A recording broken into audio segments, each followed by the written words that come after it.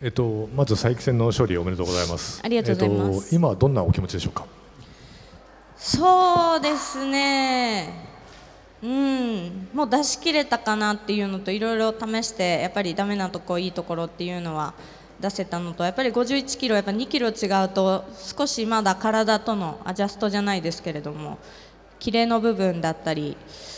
うん、試合が久々っていうこともあってちょっとそういうのが物足りなかったかなっていうのはあるんですけど、まあ、でも今自分ができることはできたかなっていうふうに思います。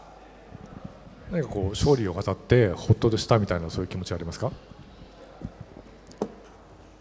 うん、そうですね。ほっとはほほっとしたってことですね。そうですね。ほっとはしましたね。あの戦ってみて、えー、サマンス選手の印象はどうでしたか？いやすごく強くて、もういつもそうですね。なんか本当に気持ちが強い選手だなっていうふうに目もずっとお腹もあのなんですかね。お腹も効いていたのは分かっていたので、どうしようかなと思ってたんですけど、まあ、寝技になっても。パウンド打っても全然目が死んでなかったので、あすごく気が強いなっていうふうに戦っていてすごく楽しかったです。あのまあ、寝技の部分をそのこの期間強化してきたとおっしゃってましたけど今日そのどれぐらい発揮できたと思いますか？うんまあ、発揮できたというかなんかいろんな展開をお見せできることはできたかなというふうには思っていてまだまだ決め切るまではいけ、えー、試合ではいけないかなかったですけど、まあ、でもその入るタイミングとかすごく返し返されのいろんな展開ができたので今までとはまた違った試合の楽しさがありました。えー、こと今後の、えー、予定ですとか目標を教えてください。まだそこまで具体的には決まってないんですけどでも試合間隔はそんなに空けずに試合をちょっとしたいなっていう気持ちがちょっとあるのでそれをやりたいのとあとはちょっとシュートボクシングに年に1回出てたんですけれども、まあ、2, 2回、3回とは出れない状況なのでちょっとそこで、うん、ちょっとシーザー会長と今お話をしていて何かできることはないかっていうことを今話しているので。そっち方面でもいろいろできたらいいなっていうふうに思ってます。ありがとうございます。えー、他にご質問ございましたら。えっとあの平成の失敗は平成のうちにっていうのはえっと全うできた気持ちはありますか？いやもう本当に入場の時にもしブーイングがすごかったらどうしようかなって思ったんですけど全く私には聞こえてなくて歓声しか聞こえてなくて正直泣きそうになっちゃってどうしようと思ってあかんかん試合前やと思ってもう本当にお客さんに救われたそんな感覚で試合に臨めてうんまあそうですね失敗しましたけど令和に向けて平成は終われたかなっていうふうには思います。ちょっと前々日会見でも伺ったんですけどもあの勝った上で改めて令和の目標をいただけますか？令和の目標。そうですね。やっぱり令和 R の時代なのでやっぱりまだまだ私の時代私が突っ張っていかなきゃいけない時代だと思っているのでそれを実行していけたらいいなと思います、えー、他にございますでしょうか？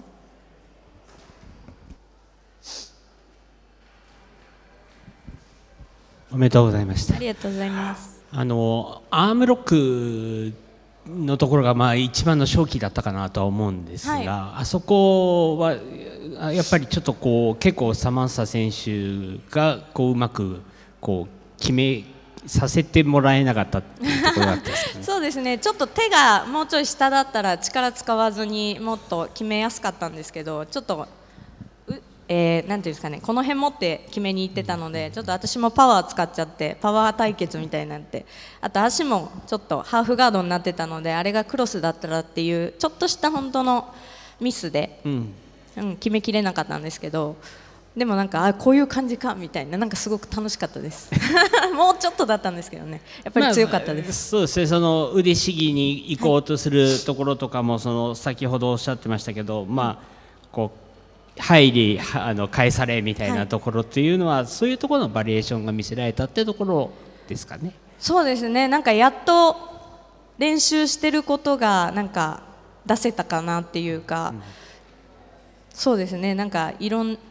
この3年4年で頑張ってきたことが少しでも試合に出たなって今は少しは満足してます。まあ、あの当然といえば当然なんですけどあの打撃もかなり見せることができたと思うんですが あの、まあ、今日試合後のマイクでも MMA ファイターとしてという話をされてましたけれども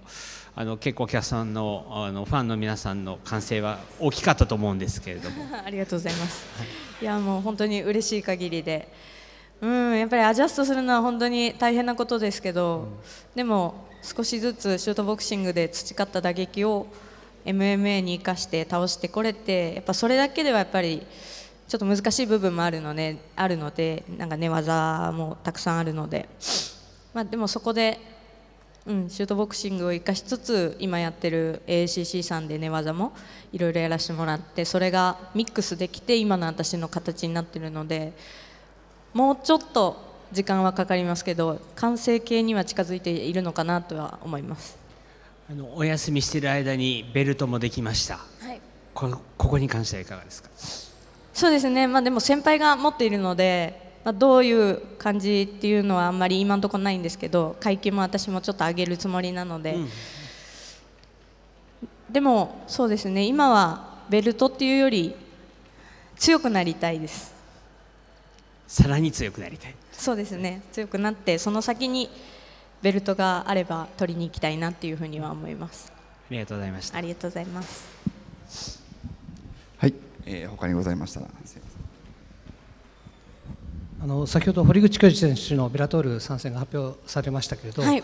あの今そのベルベラ、えっと、ベルトよりもということがありましたがあのレナ選手にとって海外への挑戦というものも、あのこう夢の一つとして、えっとはい。あの近くなってきてるんでしょうか？そうですね。やっぱりうん。ニューヨークですものね。すごいなと思いますね。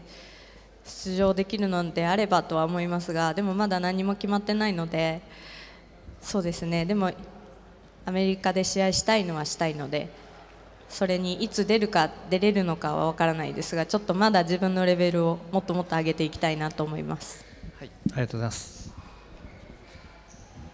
すみません、あの今日投げられた後、くるりんくるりんパと上になったはいクルリンパー。ですか。ありましたよね、はい。あれは練習してた